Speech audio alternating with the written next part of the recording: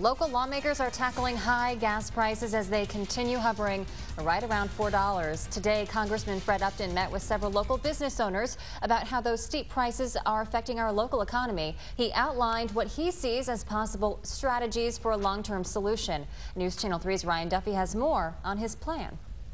As we all continue to be forced to deal with gas prices right around $4, Congressman Fred Upton, chairman of the House Committee on Energy and Commerce, says he has some of his own ideas for a long-term solution.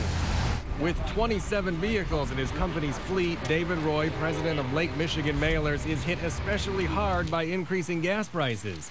He says so far he's resisted passing along increased costs to his customers. But what he's most concerned about, he says there's no clear plan from officials in Washington.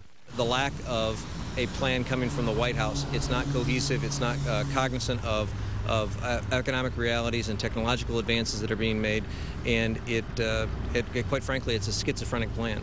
Today, he and other small business owners had a chance to talk about their concerns with Congressman Fred Upton. Upton, as chairman of the House Committee on Energy and Commerce, is hearing from business owners all over the country. Earlier, they said 425 gas by Memorial Day. We may be that by Easter. And already we're seeing probably predictions of maybe five or even above that later on this summer. In the short term, Upton says increasing domestic drilling and production would immediately lower gas prices. We have lots of reserves we ought to be able to tap those, particularly as we look at trying to help our businesses and families. So many of them commute 30, 40, even more miles a day. It is a huge impact. He says long term, he's pushing for an all of the above approach, renewable energy, but also increasing production, including building the Keystone Pipeline.